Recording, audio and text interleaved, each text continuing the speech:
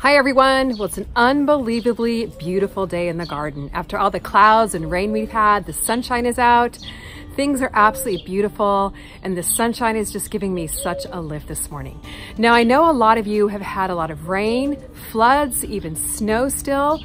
So hopefully the sun will come out in your garden soon and you'll get that bright lift of sunshine very soon. Well, this morning on my coffee walk, I wanted to take a look at my peppers. There's been a lot of holes being chewed in the leaves. So I wanna take a look, see how they're doing, and maybe you can give me some tips too.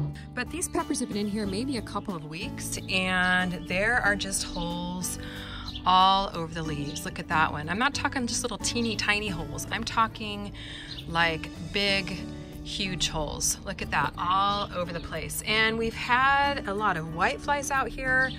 Um, I actually talked to my friend Gary over the Rusted Garden the other day and he suggested it might be slugs, but I haven't seen one single slug or one single snail or even any grasshoppers. And I actually even came out here last night camera guy and I had a nice little romantic date in the garden to look for slugs and snails and I didn't see a single one of them. So I'm just a little bit mystified. But what I've done is I have sprayed everything down with neem oil. I have a mixture of water, neem oil, and peppermint oil in this little sprayer here.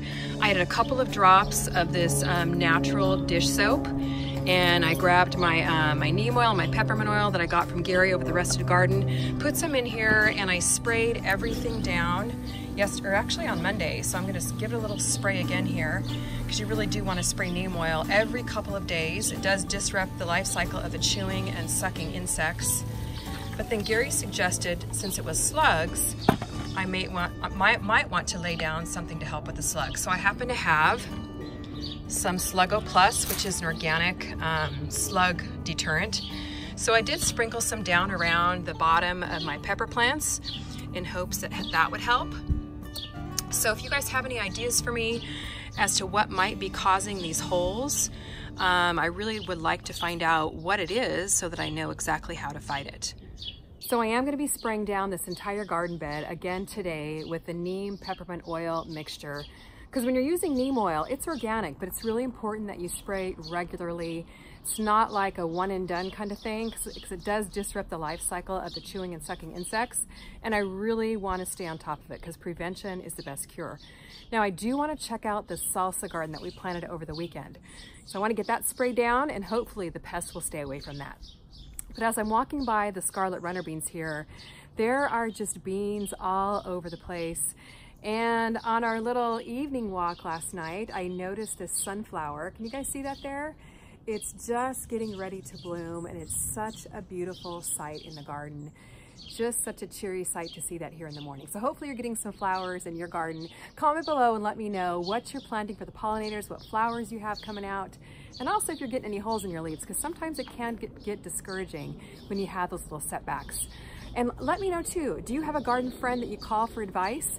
Usually my go-to is Gary, but let me know um, who your garden friend is and uh, what you guys like to chat about as far as gardening goes. So let's check out the salsa garden. Well, I love how the salsa garden is looking in the morning light. I absolutely love this big, beautiful pop of purple in the garden. So far, so good on the peppers. No holes in the leaves. But I am gonna go ahead and spray it down with my neem oil spray here in hopes that we're preventing the insects. Now, when you're spraying neem oil, you wanna do it in the morning before the sunlight gets too bright and intense. Today's not supposed to be a real hot day, so we should be just fine. And this area does get shaded in the morning, so we should be okay. So I'm gonna spray the tops of the leaves, the bottoms of the leaves. I'm even gonna give this tomato plant a spray just to help prevent anything that might come around and want to chew on things. Now I do have videos on how to prepare the neem peppermint oil concoction here, so you can go back and check those out and get your plants sprayed down before there's any big problems. Now the Sluggo Plus I've used for a couple of years with great success. I just picked this up on Amazon, so I'll link up to that in the video description. But I like to just sprinkle it around the base of the plants and that way when the slugs crawl over it or the snails or whatever chewing insects you have, maybe the earwigs too, then they eat that sluggo bait and bye-bye. You do want to make sure you get the Sluggo Plus.